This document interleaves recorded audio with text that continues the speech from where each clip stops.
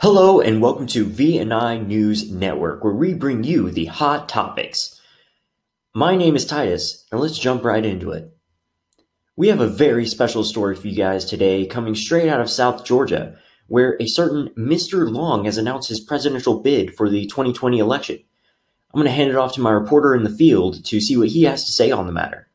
Titus, off to you. Thank you, Titus.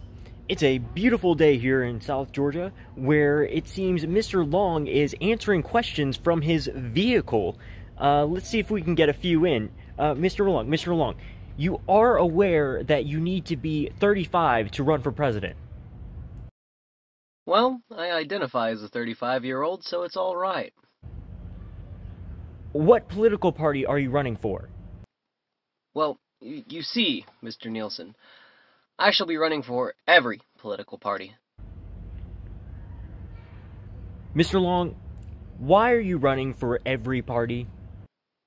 Because I believe that every political party deserves the equal right to get riggedy wrecked by common sense.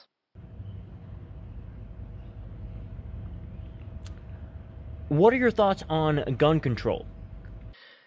Now, I believe that if you want to own an A1 Abrams tank or an F4 jet, that is your right. Every gun law is an infringement. How do you feel about the current political landscape? I feel that the current political landscape as a whole is full of corrupt politicians who are only serving themselves and not the people. It is the people that make a government a government. A government should fear its people, not the other way around. If you were to be elected, what would be your first act as President of the United States? My first act as president would be to abolish taxes. And how do you plan on accomplishing that task? Starting with the 16th Amendment, although that only does cover income tax federally.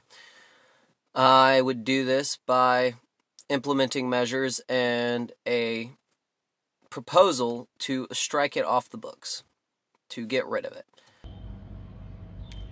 My, Mr. Long, that is very ambitious. Are you worried about getting kickback from Congress? I am not worried about kickback from Congress because I'm going to be attacking them too. Oh shit. In- introducing term limits, as well as finding ways to prevent outside interference in Congress itself through big corporations. How do you plan to appeal to the people?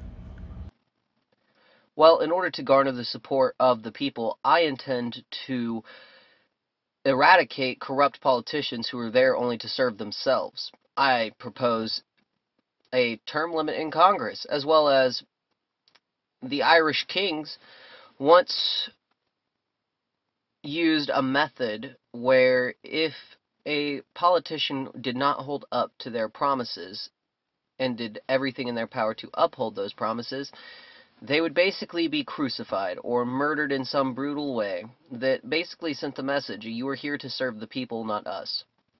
Mr. Long, do you feel that religious institutions should pay taxes? Uh, I believe that all taxation is theft. Mr. Long, how do you feel about the transgender community? Well, I feel that the transgender community is a very controversial issue right now, and I honestly don't care if you choose to identify as the opposite gender or as an attack helicopter, but it should not cost the people to your left and right money in order for you to follow your dream. You should be able to have to fund that yourself.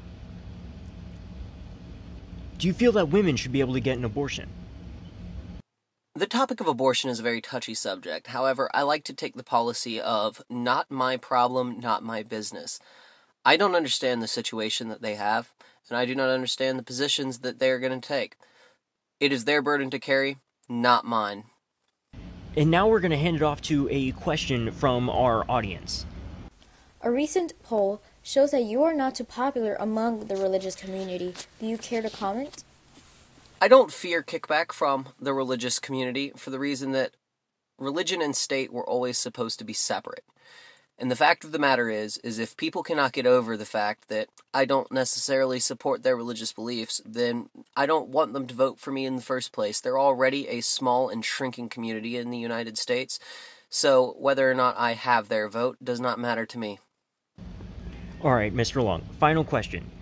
You're driving down the road at 30 miles per hour, and a dog, a child, and an old lady walk out into the street in front of you. What do you hit? I would hit the old lady. Uh, the brakes, Mr. Long. You're, you're supposed to hit the brakes.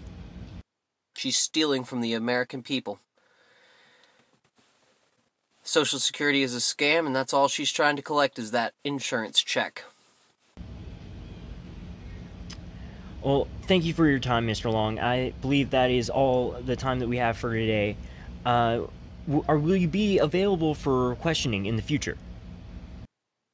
Of course, I am always available for more questions. Uh, you can go ahead and like and subscribe to this video, and you can ask your own questions in the comments below. Well, that was a very interesting conversation, but I believe that wraps everything up down here, so I'm going to pass it off back to you, Titus. Thank you, Titus. Wow, that was a very eye opening conversation that we saw today. And now I want to pass it off to you, the audience. If you have a question that you want to ask Mr. Long, just film yourself asking the question and send it to our email, which we will leave in the description down below. Or you can leave a comment in the comment section down below, and your question may be featured on the next episode of V&I News Network. Let us know what you think about my run for presidency. Am I too extreme? Am I too wild? Please let us know in the comment section down below. This has been Veritas et Iudicium. Thank you and goodbye.